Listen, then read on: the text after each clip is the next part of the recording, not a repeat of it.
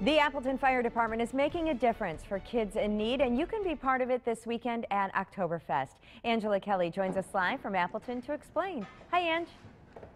Hi, Rachel. Good morning, everyone. We'll take a look. We're joining you live from Fire Station Number One in Appleton, and firefighters are busy making 120 gallons of chili to be sold at Oktoberfest tomorrow. They've been doing this for more than 30 years, and it raises money to buy um, coats, warm winter jackets for kids in need. And we're going to get into that in just a bit. But don't you wonder what goes into 120 gallons of chili? We're going to go now to uh, Steve Unruh, a firefighter here. Good morning. Good morning. Okay, we'll start with the seasonings. That's a lot of seasoning. Yeah, a lot of seasoning. 160 packets of seasoning that goes into our recipe.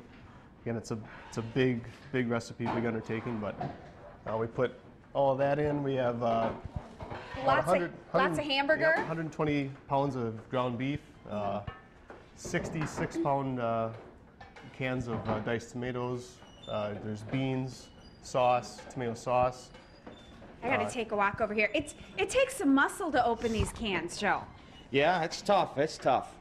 But somebody's got to do it, right? You got it. Tell me how you feel about uh, being a part of this this effort, making this chili. I mean, kind of creates some good camaraderie with you guys. Oh yeah, we always have fun with it, and you know we'll hang out in the morning. We usually go out for lunch or something. It's it's great. Okay, good deal. And we'll come on over here. Uh, hey, do you need a tissue for cutting all these onions over here, Keegan?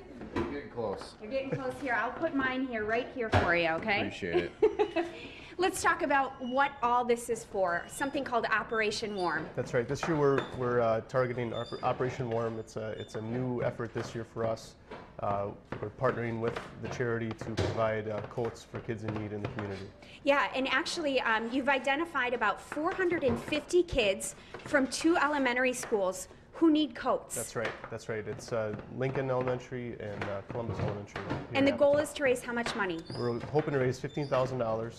Uh, We're gonna, we should have around five thousand of that through our charities, through the chili booth sales, and then through our uh, benevolence fund, we're gonna kick in twenty-five hundred dollars. We need help from the community to get that extra, that other ten thousand dollars that we need. Okay, so here's what you got to do. First of all, go to Oktoberfest tomorrow. It's a fun event Right, anyway. Lots of food to eat. But look for these guys. Take a look real quick. Sorry, I'm going to steal this. look at this picture. A lot of them wear the, the lederhosen. They're stirring the chili. They're Oh, right in front awesome. of Houdini Plaza. I know, I know. And- so, um, and then, yeah. What happens if there's an emergency call right now?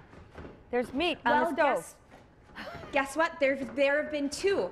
Steve, what happened when, when you've had two emergency calls this morning? Well, yeah, the crews here are on duty, so if something happens, we're out the door. Um, Yeah. It's, we're, we're still at work. Uh, our chief has been gracious enough to allow us to do this at the station while we're on duty too. So, in between time, we're uh, we're working. We're always doing something. Yeah, twice this morning, like five people cleared out, and it was just me and Steve.